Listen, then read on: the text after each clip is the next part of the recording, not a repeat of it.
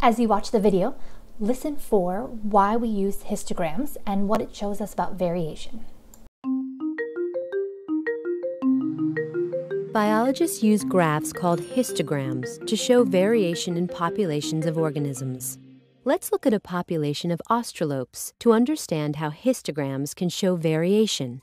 If you look at the australopes, you can see that although they are all from the same population, they are all different from each other. They have different traits.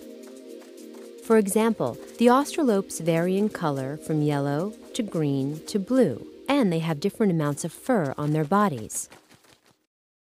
Their necks range from very short to very long. These are examples of variation in the australope population. If the population is broken into groups according to a single feature, such as the length of their neck, and they line up according to the trait of how long their necks are, we can see how many individuals have short necks and how many have medium, long, and very long necks.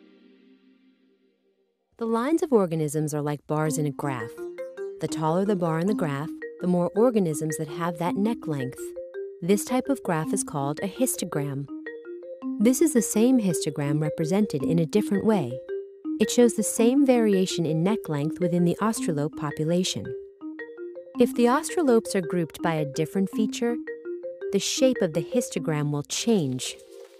Now the australopes are lining up according to color, you could count how many australopes are each color by looking at every individual australope, one by one. But using the histogram is easier. One quick look shows that most of the australopes in this population are blue, some are yellow, and a small amount are green. Histograms help biologists understand the variation of traits in a population. They are also useful for comparing two or more populations or for investigating how populations change over time.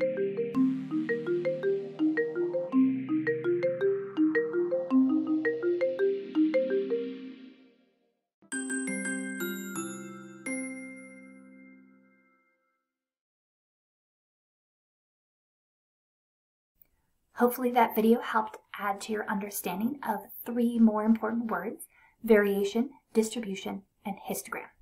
Variation is any difference in traits between individual organisms. You saw lots of variation of the australopes, right? There are different colors, they have different neck lengths. All of those things are differences in their traits. Distribution is the number of individuals with each trait in a population. So when we look at the distribution of our australopes color, we can see most of them are blue, many of them are yellow, and very few of them are green. And our final important word for today, histogram. So a histogram is a graph that uses bars to show how characteristics or values are distributed within a group. It's much easier to look at changes in populations if you can visually represent what the population looked like before and what it looked like afterwards. We'll use histograms a lot to show variation in populations.